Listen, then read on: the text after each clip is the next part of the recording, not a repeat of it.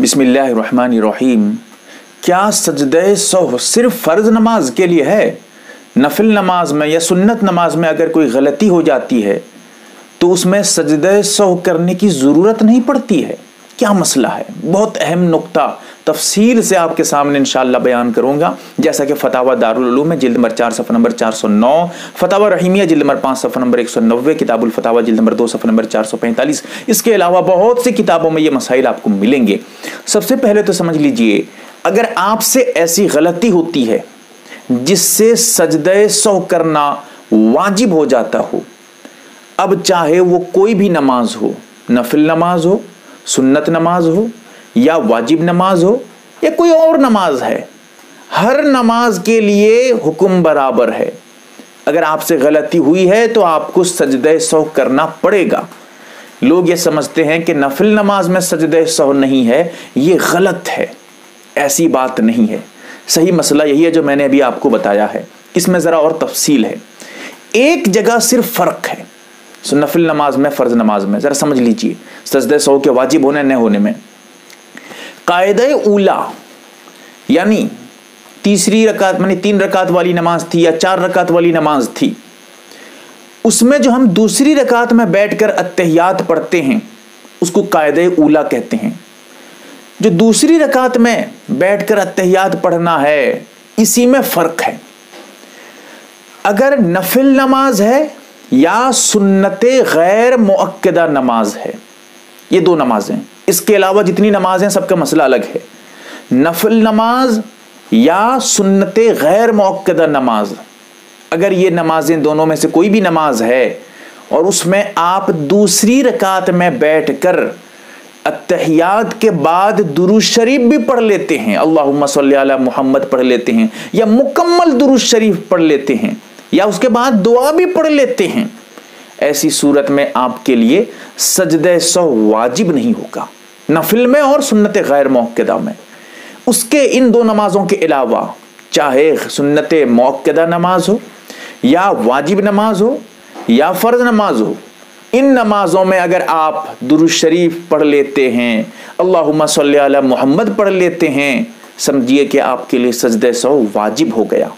सिर्फ़ इतना ही फ़र्क है। इसके अलावा कोई फ़र्क नहीं। और एक फ़र्क है, लेकिन वो इस तरह का फ़र्क नहीं है, वो दूसरे किस्म का फ़र्क है। वो समझिए, अगर कोई ऐसी जमात है जिसमें जम गफ़ीर हैं। बहुत से लोग शामिल हैं किसी जमात में। और इमाम साहब से ऐसी गलती हो जाती है कि जिससे सजदे सो वाजिब हो जाता हो। अब चाहे वो फ़र्ज़ नमाज़ हो, चाहे वाजिब नमाज़ हो, चाहे जो है कोई और नमाज़ हो, जैसे इस्तिस्का की नमाज़ है या कोई और नमाज़, सूरज ग्रहण की नमाज़, चाँद ग्रहण की नमाज़ वगैरह जो होती है, जो जमात से पढ़ते हैं, जो नमाज़, जो जमात से नहीं पढ़ते हैं, वो मसला अलग है, चाँद ग्रहण तो जमात से पढ़ते नहीं है। एक मिसाल के तौर पर मैं आपको समझाना चाहता हूँ। तो जैसे चाहे जुमा की नमाज़ हो, ये फ़र्ज़ है।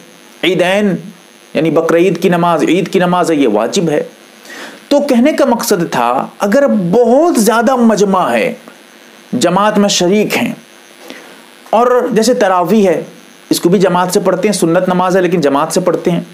इसका भी यही मसला है कि अगर बहुत ज़्यादा लोग तरावी की नमाज़ में शामिल हैं और इमाम साहब से गलती हो जाती है, सजद सौ वाजिब हो जाता है तो ऐसी सूरत में अगर सजद सौ करने से मुक्तदियों में इंतशार का अंदेशा है, यानी कोई सलाम फेर कर चला जाएगा, कोई सजदा सौ के लिए कर लेगा तो यानी एक तरीके का उसमें उलझन का शिकार होने का अंदेशा है। कम लोग हैं तो कोई दिक्कत नहीं है, लेकिन बहुत मजमा है।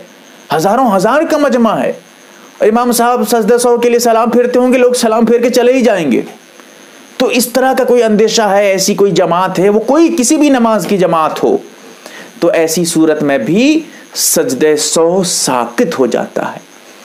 ऐसी जमात में अब सजद सौ करने की ज़रूरत नहीं है, बल्कि उस जगह सजद सौ माफ़ है। ये तफसीलात बहुत अहम थे। जानने की बातें हैं, इलमी बातें हैं। अल्लाह ताला हमें समझने की तौफीक दे। आमीन या रब्बुल आलमीन। आप देख रहे हैं एम ए आर बी दीनी मालूम यूट्यूब चैनल। चैनल को सब्सक्राइब करें, वीडियो को लाइक और शेयर करें। फेसबुक ट्विटर इंस्टाग्राम और टेलीग्राम पर आप हमें फॉलो कर सकते हैं। हमारी वीडियोस आप अपने चैनल पर डाल सकते हैं। हमारी तरफ़ से इजाज़त है। हमारे साथ व्हाट्सएप पर जुड़ने के लिए आप अपने व्हाट्सएप से अपना नाम और फुल एड्रेस के साथ ऐड लिखकर हमारे व्हाट्सएप नंबर एट को मैसेज करें।